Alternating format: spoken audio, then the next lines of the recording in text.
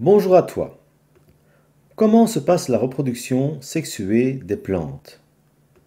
Voici donc le cycle de vie des plantes.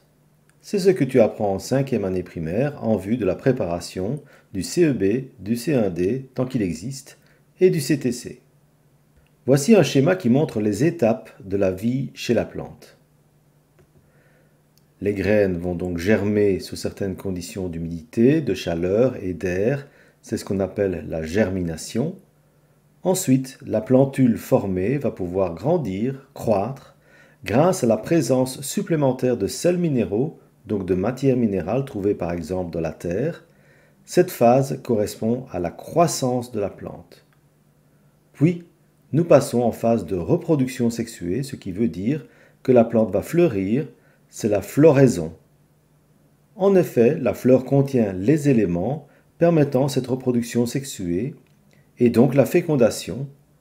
On le verra plus loin, et indiquons déjà maintenant que c'est grâce à la pollinisation que cette fécondation pourra avoir lieu. On en parle aussi plus loin. La fleur se transformera en fruit, c'est la fructification. Le fruit contient les graines, ces dernières vont se répartir plus ou moins loin, c'est ce que l'on appelle la dissémination des graines. Et entre-temps, la plante qui aura donné ses fruits va mourir. Voyons justement maintenant la pollinisation. Vous voyez cette superbe abeille couverte de grains de pollen. En effet, elle a été butinée une fleur pour se nourrir de nectar, et par la même occasion, les grains de pollen se sont accrochés sur son corps. Voici ce schéma. Les grains de pollen se trouvent sur les étamines. Les étamines sont comme les organes mâles qui produisent les cellules reproductrices mâles. Et on peut dire que le grain de pollen contient les spermatozoïdes. Le pollen est donc transporté par l'insecte qui est donc un pollinisateur les grains de pollen vont donc arriver au niveau du stigmate, qui est la partie supérieure du pistil, qui est en fait l'organe femelle dans la fleur. En effet, au fond du pistil se trouve l'ovaire contenant l'ovule. On peut aussi préciser que les fleurs peuvent contenir à la fois le pistil et les étamines, comme ici représenté. Mais aussi, il peut y avoir des fleurs exclusivement mâles, ne contenant essentiellement que des étamines fonctionnelles, et des fleurs exclusivement femelles ne contenant essentiellement qu'un pistil fonctionnel. On peut aussi avoir des plantes ou arbres exclusivement mâles ou femelles, c'est-à-dire n'ayant que des fleurs mâles ou femelles. La fécondation maintenant. Cette fécondation a lieu en cas de reproduction sexuée.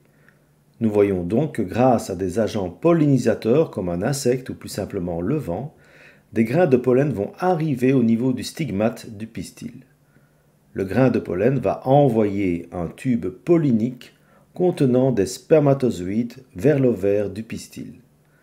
Le spermatozoïde va aller à la rencontre de l'ovule et les deux cellules, donc le spermatozoïde et l'ovule, vont fusionner. C'est ce que l'on appelle la fécondation.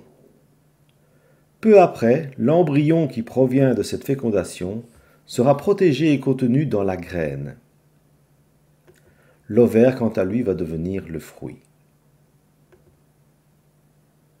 C'est ainsi que lorsque vous mangez une pomme, vous mangez un ovaire transformé de plantes, et la graine, ce sont les pépins, et ce sont eux qui contiennent l'embryon qui pourra alors se développer lors de la germination et donner une nouvelle plante. Et lorsque vous mangez une cerise, vous mangez un ovaire, et la graine, c'est le noyau qui pourra germer pour donner un nouveau cerisier. On vient de parler d'une reproduction sexuée qui se caractérise par une fécondation. Il existe aussi une reproduction asexuée, ce qui veut dire que la plante se reproduit par elle-même, sans fécondation, donc sans fusion entre une cellule reproductrice mâle et une cellule reproductrice femelle. C'est un peu comme si la plante se clonait. Pour cela, je peux vous renvoyer vers une autre vidéo. La dissémination, c'est le fait que les graines sont envoyées, réparties dans la nature. Cela se fait normalement par la chute du fruit à proximité de la plante. C'est ainsi que des petits pommiers peuvent pousser juste en dessous du pommier qui portait des fruits. Mais les graines font parfois d'étranges et lointains voyages. Les graines peuvent être transportées par les oiseaux ou plus simplement par le vent.